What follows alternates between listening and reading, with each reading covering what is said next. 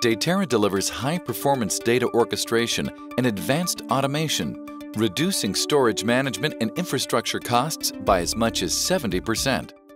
The Datera Data Services platform differs from uh, all of the other storage architectures I've reviewed, including dozens of software-defined storage architectures, in a couple of key ways.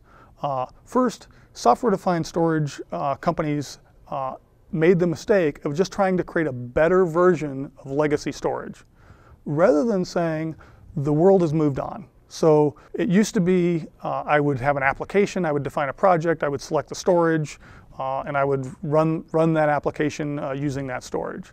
Today, in the DevOps environment, I deploy the storage not even knowing what application is going to run on it.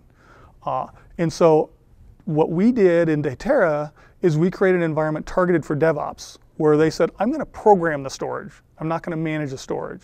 When an application comes into my environment, I'm going to programmatically create storage for that, for that application.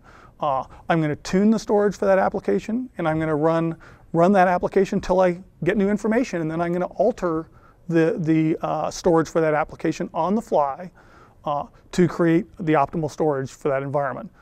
Other storage architectures, hardware defined or software defined, simply don't have that level of flexibility.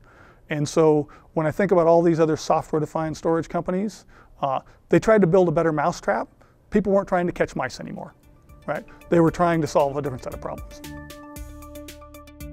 Learn more about how Datera brings the software-defined revolution to enterprise storage at datera.io and contact Datera for a free consultation.